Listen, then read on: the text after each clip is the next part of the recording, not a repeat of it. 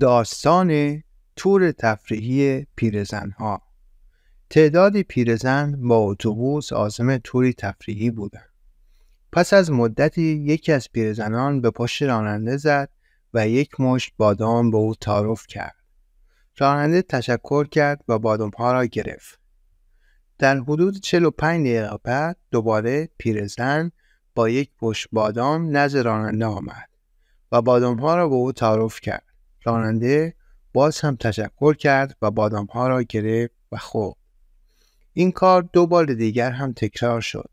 تا اینکه بار پنجم که پیرزن باز با یک مش بادام سراغ راننده آمد راننده از او پرسید چرا خودتان بادام ها را نمی‌خورید؟ پیرزن گفت چون ما دندان نداریم.